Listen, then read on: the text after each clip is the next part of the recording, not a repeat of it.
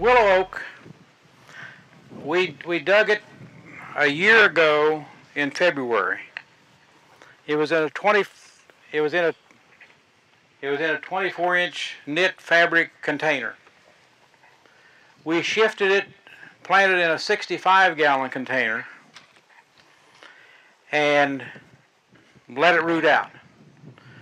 Wanted to point out several things to you.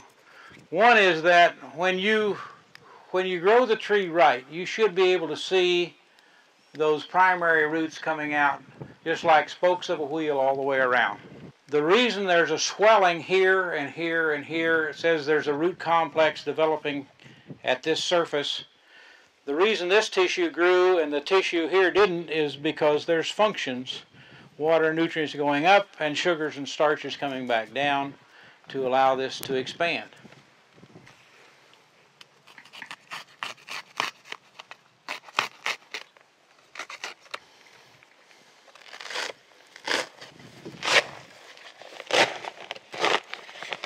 Notice this white gray, you see this gray material around here? All that's mycorrhizal fungi. That's good stuff. And look that when I began to brush this away, you didn't see many roots to begin with. And the more I just brush this mix that's getting fairly dry away with my fingers, you're just seeing masses and masses and masses of fine fibrous roots. All those things have to do is just extend horizontally and near the surface where the aeration conditions are most favorable, and the tree's off and running. On September the 7th, so here we are the 27th.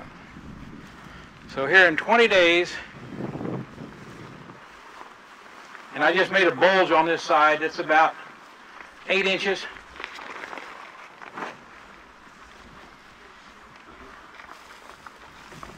You can just see the white tips. Again, I broke off the tips.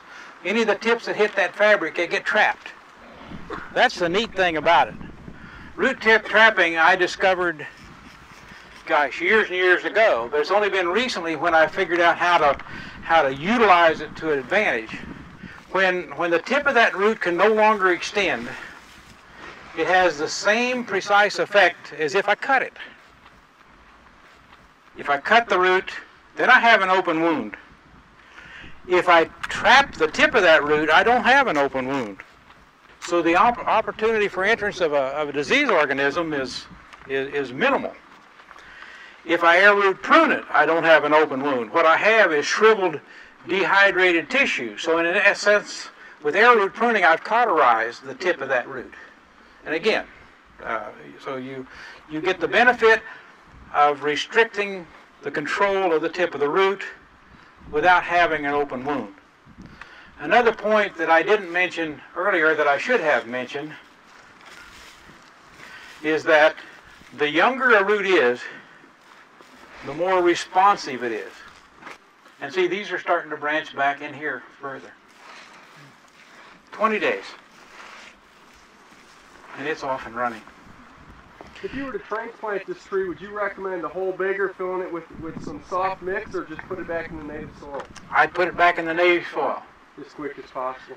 Peat moss is the only thing, the only thing good about peat moss in, in planting in the landscape is it's, it, the, the garden center sell a lot of it. It's a waste of time. You can't, I don't know of a single study. We did our first studies, gosh, in 1969 or 70 that showed that peat moss was a waste of time. And that study has been repeated over and over and over and over. Nobody has shown any benefit from it except with azaleas. All right? But even with azaleas, what we ultimately worked out was that it's not the peat that's providing the benefit, it's the acidification of the soil. If we added sulfur, we got the same benefit as adding peat. So the sulfur acidified the soil. So anyway, um, oh, but I know the, the where I was headed with some of these thoughts was the fact that when you're dealing with a very young root, it's, it's at its maximum responsiveness. If, if I restricted or cut or pruned away the tip of that root today, within two or three days there's going to be branch roots forming behind it.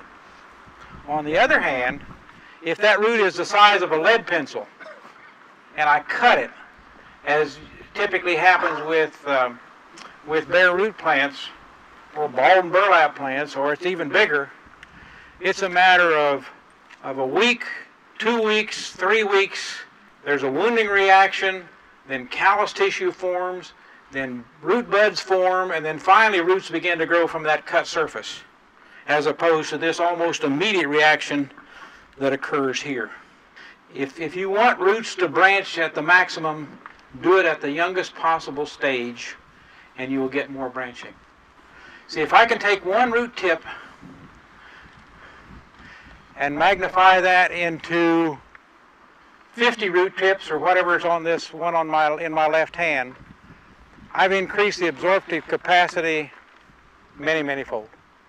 I, I didn't know exactly what we'd see, but I'm delighted with what we see. Wow. See, some of these are, some of those are probably eight, nine inches long out there. That's not too bad for this time of year. A couple of other key points about planting trees like this. There's all this stuff that is marketed and hyped root stimulator, total waste of time. What made those roots grow? It wasn't anything that was in the mix out here. Those roots grew from sugars that were already inside that plant tissue. All we did was take away the restricting surface and away they went. Um, you know, another another one of these silly things that's been around forever. You shouldn't fertilize a plant the first growing season. That's ridiculous. That plant grows on energy. Everything runs on energy. You do, your cars do, the electric power for this PA system, everything runs on energy, and so does that tree. The sun, leaves cap the energy from the sun, turn it into sugars, and the more sugars we can make, the more roots we grow, the more stem diameter growth, and so on down the line. But it's all energy driven. So to wait a year before you fertilize a newly planted plant is just saying, I'm going to starve you for a year because it's just totally ridiculous. But this initial push of roots following transplant, this is due to energy that was already there. See, if you had to wait, say, all right, I won't get any root growth until I get nutrient absorption from the roots that are at the face of this ball. They go up to the leaves and make sugars and come back down. That's a long time. That is a relatively slow process. So you're dependent upon what's stored there. The more energy we can store in that tissue, the healthier the plant, the fewer the problems, the more stabilized the plant. And again, this is what I'm after. I want roots to grow. So if this plant were actually in the ground and we dug it back up, a year from now there'd be roots out here several feet. Two years and they'd be out several other feet. Um, you couldn't blow it over. You can break the stem off, but you couldn't blow it over. Not with a root system like that.